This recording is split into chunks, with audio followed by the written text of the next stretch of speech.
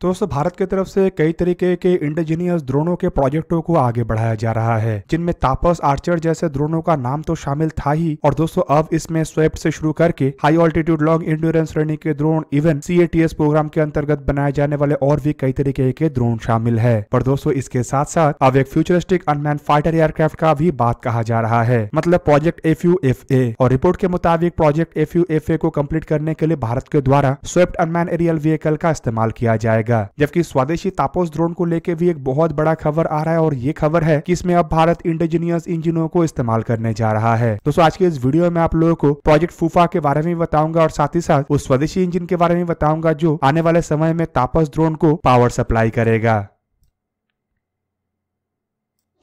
दोस्तों, भारत के द्वारा जो घातक या फिर कहे तो और अनमैन एरियल व्हीकलों को बनाने के लिए इसके एक टेक्नोलॉजी डेमोस्ट्रेशन प्रोजेक्ट को आगे बढ़ाया गया है, जिसे कि stealth wing flying test bed या फिर स्वेप्ट कहा जाता है। बताया जा रहा है कि अब इसी के ही बेस पे defence research and development organisation के तरफ़ से फ्यूचरिस्टिक अनमैन फाइटर एयरक्राफ्ट के प्रोजेक्ट को आगे बढ़ाने का तैयारी किया जा रहा है। दोस्तों, यहाँ पे आप लोगों को यह भी जान के रखना चाहिए कि defence research and development organisation और एरोनोटिकल डेवलपमेंट स्टेब्लिशमेंट के तरफ़ से ही स्वेप्ट ड्रोनों के ऊपर काम शुरू किया गया था और स्वेप्ट ड्रोन ने अपने पहला उड़ान को भी भर चुका है। मतलब एक तरीके से आप कह सकते हैं कि ये ड्रोन के प्रोजेक्ट अपने सक्सेस के तरफ़ आगे बढ़ रहा है। और शायद इसी सक्सेस का ही इस्तेमाल अब अन्य प्रोजेक्टों में डीआरडीओ की तरफ़ से करने का इरादा बनाया जा रहा है। दोस्तों फ्यूचरिस्टिक अनमैन फाइटर एयरक्राफ्ट के अगर प्रोजेक्ट को देखा जाए तो यहाँ पे रिपोर्ट के मुताबिक 46 किलोमीटर के ड्राई कावेरी इंजनों का इस्तेमाल किया जाएगा। मतलब उसी इंजन का इस्तेमाल इसमें किया जाएगा जो रशिया में हाल ही में ही अपने टेस्ट को सफलतापूर्वक अंजाम दिया है। अब दोस्तों यहाँ पे आप लोगों को और एक बात को भी जान के रखना चाहिए कि घातक अनमैन एरियल व्हीकल के लिए ही असल में इस इंजन का डेवलपमेंट किया जा रहा है। और फ्यूचरिस्टिक अनमैन फाइटर एयरक्राफ्ट के प्रोजेक्ट को लेके जो जानकारी आ रहा है उसके मुताबिक इस इंजन के इस्तेमाल से ये अनमैन एरियल व्हीकल को करीबन 10 टन के ऑल अप वेट मतलब मैक्सिमम टेक ऑफ़ वेट जैसे एयरक्राफ्ट में परिवर्तित किया जा सकेगा। अब दोस्तों ये भी बताया जा रहा है की ये जो फ्यूचरिस्टिक अनमैन फाइटर एयरक्राफ्ट का प्रोजेक्ट है ये भी एक तरीके से फ्लाइंग विंग कॉन्सेप्ट के ही एयरक्राफ्ट हो सकता है। फ्लाइंग विंग कॉन्सेप्ट मतलब इसमें कोई अलग से फ्यूसलार्ज और अलग से विंग नहीं होता है, बल्कि फ्यूसलार्ज और विंग एक साथ मिला हुआ रहता है और साथ ही साथ इसके जो रेडर क्रॉस सेक्शन है मतलब स्टेल्थ प्रोफ़ाइल को और मज़बूत करने के लिए इसमें स्टेल्थ कोटिंग और कॉम्पोजिट मटेरियल का भी इस्तेमाल किया जाएगा। अब दोस्तों फूफा प्रोजेक्ट के अंतर्गत ये भी बताया जा रहा है कि ये जो एयरक्राफ्ट होगा, ये संपूर्ण रूप से इंटरनल वेपन बेस से लैस होगा और ये इंटरनल वेपन बे केवल मात्र हवा से ज़मीन में ही ठिकानों को नष्ट करने के लिए हथियारों को कैरी नहीं करेगा, बल्कि ये air to ground precision guided म्यूनिशनों के साथ साथ हवा में दुश्मन के एयरक्राफ्टों को मार गिराने के लिए beyond visual range air to air missile मतलब लॉन्ग रेंज के एयर टू एयर मिसाइलों को भी कैरी करेगा। जबकि फूफा प्रोजेक्ट के अलावा डीआरडीओ की तरफ़ से स्विफ्ट ड्रोन का इस्तेमाल करके और एक प्रोजेक्ट को भी आगे बढ़ाने का तैयारी किया जा रहा है। और दोस्तों, ये कुछ और नहीं, बल्कि स्विफ्ट के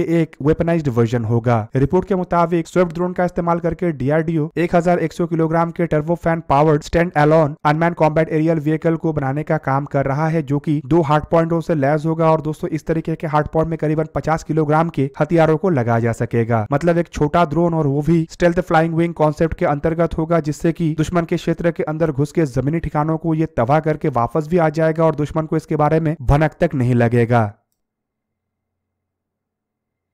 जबकि दोस्तों, दूसरी तरफ़ और एक ड्रोन को भी लेके भारत को एक बड़ा सक्सेस मिलने जा रहा है और दोस्तों, ये ड्रोन है ताफस अनमैन एरियल व्हीकल आप सब लोगों को पता ही होगा कि मीडियम ऑल्टीट्यूड लॉन्ग एंड्योरेंस श्रेणी के ड्रोन के रूप में Tapas B H two zero one unmanned aerial vehicle को defence research and development organisation और एरोनोटिकल डेवलपमेंट स्टैब्लिशमेंट की तरफ़ से बनाया गया है और हाल ही के एरो इंडिया एग्जीबिशन के दरमियान भी ये ड्रोन ने अपना क्षमता का प्रदर्शन किया। पर दोस्तों, ये जो ड्रोन है, इसमें अभी भी कुछ विदेशी कॉम्पोनेंटों का इस्तेमाल किया जा रहा है और भारत फ़िलहाल इसे ही रिप्लेस करने का तैयारी कर रहा है। दोस्तों, ऐसे विदेशी कंपोनेंटों में सबसे बड़ा कंपोनेंट है ड्रोन का इंजन। अब दोस्तों, अब तक ये जो तापस अनमैन एरियल व्हीकल बनाया गया है, इसके प्रोटोटाइप वर्जनों में एस्ट्रो 330 ईपी इंजनों का इस्तेमाल किया जाता था। बेसिकली ऐसे दो इंजनों का इस्तेमाल होता है और हर एक इंजन का क्षमता 177 हॉर्स पावर है। पर एरो इंडिया 2023 के दरमियान defence research and development organisation के एक वरिष्ठ अधिकारी की तरफ़ से ये जानकारी दिया गया है कि tactical advance platform for aerial surveillance मतलब Tapas medium altitude long endurance श्रेणी के ड्रोन में आने वाले दो महीनों के अंदर व्हीकल रिसर्च डेवलपमेंट स्टैब्लिशमेंट की तरफ़ से डेवलप किया हुआ 180 हॉर्स पावर के डीजल इंजनों को लगा के इसका उड़ान को अंजाम दिया जाएगा। अब दोस्तों, ये जो इंजन है, ये पहले से ही डेवलप किया जा रहा था और पहले से ही इरादा बनाया गया था की विदेशी इंजनों को केवल मात्र प्रोटोटाइप वर्जनों में इस्तेमाल किया जाएगा और स्वदेशी इंजनों को बेसिकली इन अनमैन एरियल व्हीकलों के प्रोडक्शन वेरियंटों में इस्तेमाल किया जाएगा। इवन दोस्तों, कुछ रिपोर्टों में तो ये भी दावा किया जा रहा है की एरो इंडिया 2023 एग्जीबिशन के दरमियान जो तापस अनमैन एरियल व्हीकलों को दिखाया गया है उनमें। असल में व्हीकल रिसर्च डेवलपमेंट स्टैब्लिशमेंट की तरफ़ से ही बनाया हुआ 180 हॉर्स पावर के डीजल इंजन था। इवन ये भी दावा किया जा रहा है कि एरो इंडिया 2023 के दरमियान इन इंजनों का इस्तेमाल करके तापस अनमैन एरियल व्हीकलों के टैक्सी ट्रायल को भी अंजाम दिया गया है। हालाँकि कहीं पे ये दावा नहीं है कि ये स्वदेशी इंजनों के सहारे इन ड्रोनों का फ्लाइंग टेस्ट को अंजाम दिया गया है कि नहीं। व्हीकल रिसर्च डेवलपमेंट स्टैब्लिशमेंट की तरफ़ से जो 180 हॉर्स पावर के इंजन का डेवलपमेंट किया गया है, यह असल में काफ़ी हल्के वज़न के इंजन है। रिपोर्ट के मुताबिक ये करीबन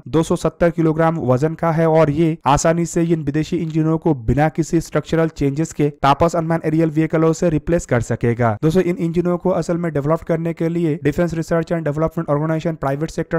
company जैम ऑटोनोमस के साथ मिलकर काम किया है। और ये भी जानकारी मिल रहा है कि 180 हॉर्स पावर के इंजनों के डेवलपमेंट के बाद अब कंपनी के तरफ़ से 220 हॉर्स पावर के इंजनों के भी डेवलपमेंट का काम किया जा रहा है, जो कि आने वाले समय में इन तापस अनमैन एरियल व्हीकलों में इस्तेमाल होने के साथ साथ आर्चर श्रेणी के वेपनाइज्ड वर्जन के अनमैन एरियल व्हीकलों में भी इस्तेमाल हो सकेगा। दोस्तों, यहाँ पे अगर देखा जाए तो आर्चर अनमैन एरियल व्हीकल असल में रुस्तम वन के ही एक आधुनिक वेरिएंट है, जिसमें हथियारों को लगा के टेस्ट करने का तैयारी किया जा रहा है। जबकि Tapas B H two zero one unmanned aerial vehicle को असल में रुस्तम टू प्रोजेक्ट से ही इनहेरिट करके बनाया गया है। हालाँकि दोस्तों, कुछ जगहों में ये भी बताया जा रहा है कि ये जो तापस अनमैन एरियल व्हीकल है, इसमें असल में दो सैटर्न थर्टी इंजन का इस्तेमाल किया गया है, जिनमें से हर एक इंजन का क्षमता